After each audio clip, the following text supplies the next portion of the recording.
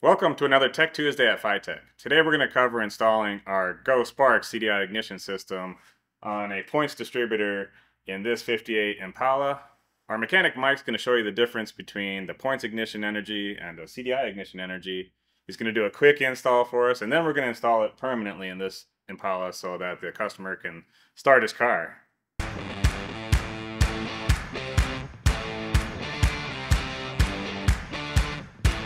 We got this 58 Impala in here. It came in on a tow truck. Uh, it's a 348 with tri-power. We're going to convert it to fuel injection. But before we can do that, we actually have to get the car to run. I've got a, uh, a little device into the coil that shows the intensity of the spark. This, this is a point ignition system, the old, old school. Uh, back in the day, the gasoline was different. It might have, you know, lit off quicker. But today's gasoline, she just won't start. You can barely see any, any spark coming out of the coil and there's none at the spark plug. So it's losing it all through the wires. In order to get the vehicle to start, Mike will be installing a FiTech GoSpark CDI box. The GoSpark delivers full energy sparks to ensure a complete ignition. The installation of a GoSpark unit is fairly straightforward.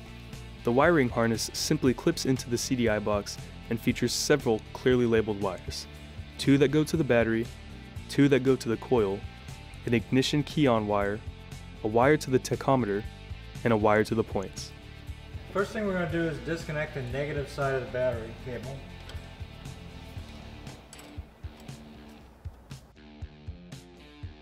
We're just going to temporarily put this in drill holes later.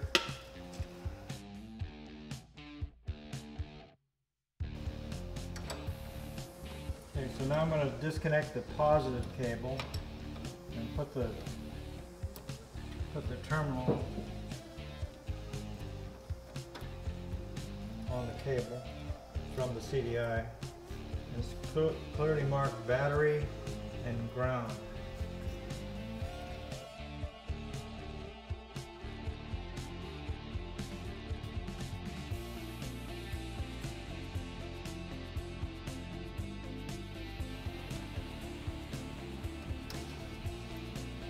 Next thing we're going to have to do is disconnect the wires going to the coil from the distributor.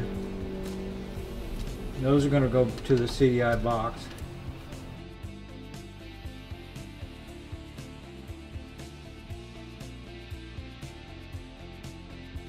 We got the wires off the, the uh, coil and we got two wires from the CDI box.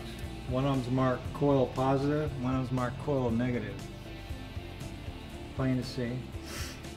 So this one's going to go to the coil positive. This one will go to coil negative. Alright, so now we have the wire from the, the point distributor and that's going to go into our CDI mark point. So temporarily going to hook it up.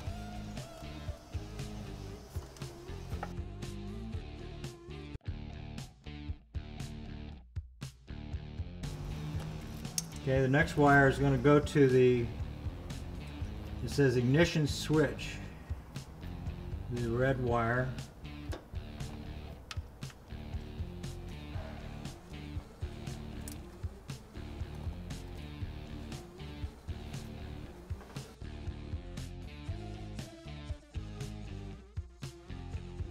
Resistor needs to be bypassed.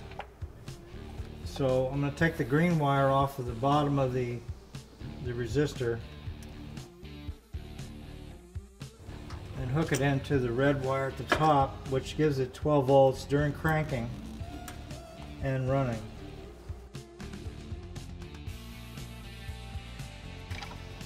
Okay, now we're going to show what the difference is in the spark. Crank it. Look at the difference in the spark intensity. I don't know what the voltage is, but it's got to be maybe 20 times better. fired right up.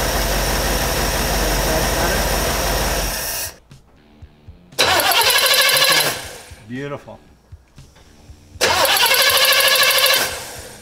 So as you can see, the ignition energy from a CDI ignition system helps with starting. It, it wouldn't even start with the old points ignition system, even with a good battery. Um, but with the CDI, it starts, it fires up, it's got all the power it needs. We've gone through and cleaned up the installation for a permanent install. You can see the CDI box is over here, out of the way of the heat. But the, the wire is still connected to the original coil, still connects to the points distributor without any modification, other than bypassing the ballast resistor. But this is the, the final way that, that it'll look on, on your setup if you install it just like this. So there you have it. I hope you enjoyed this video. Join us again for another Tech Tuesday at FiTech. If you have any questions or comments, leave them below or contact our tech support or visit our website at www.fitechefi.com.